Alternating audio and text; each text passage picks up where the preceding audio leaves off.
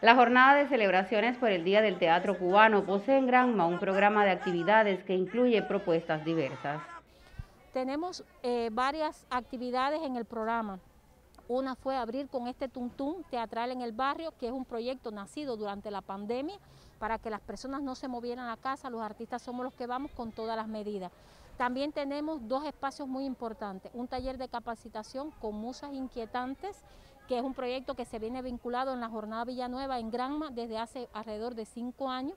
y nos proponen dos espacios, el de capacitación que será mañana dedicado a estas nuevos, el Código de la Familia, las nuevas leyes del Código de la Familia y también la ley del, del, empoderamiento de la mujer en Cuba, que es muy bueno que nosotros los artistas estemos documentados y asesorados en este sentido. Tenemos también el espacio de Musa el día 20 en la noche en el barrio Pedro Pompa y tenemos espacios también de presentaciones en la escuela Ernesto Che Guevara con un espectáculo para este público que es niños con discapacidades dedicado sus 30 años de la escuela. Es decir, que también vamos a estar en Manzanillo, está el circo participando, el grupo folclórico también de nuestra ciudad, tenemos el Teatro Alas de Cuba, tenemos la participación de los magos, el proyecto Ilusiones Libres, el Mago Ampú, es decir, hay un gran programa para todas las edades y para todos los gustos también. Sin dudas, entre las acciones más importantes figuran las puestas en escena, así como el taller de intercambio relacionado con temáticas sociales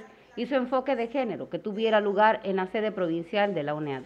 El mismo, liderado por las dramaturgas Yamis Ladies Reyes y Juventina Soler, contó con la participación de jóvenes estudiantes y egresados de la Academia de Arte, así como psicólogos, pedagogos y periodistas interesados en el asunto. El encuentro puso sobre el tamiz aspectos diversos y poco divulgados del proyecto de código de las familias cubanas, en tanto posibilitó una mirada renovadora al tema. Allí se propuso ahondar en la formación y consolidación de valores que posibiliten construir una sociedad más inclusiva desde pilares de integración social sin perder el sentido de la urgencia que ello requiere. La jornada por el Día del Teatro Cubano concluirá en Granma el próximo 23 de enero tras la entrega de los premios a la excelencia interpretativa actoral Miguel Benavides, gala que tendrá lugar en el municipio de Manzanillo.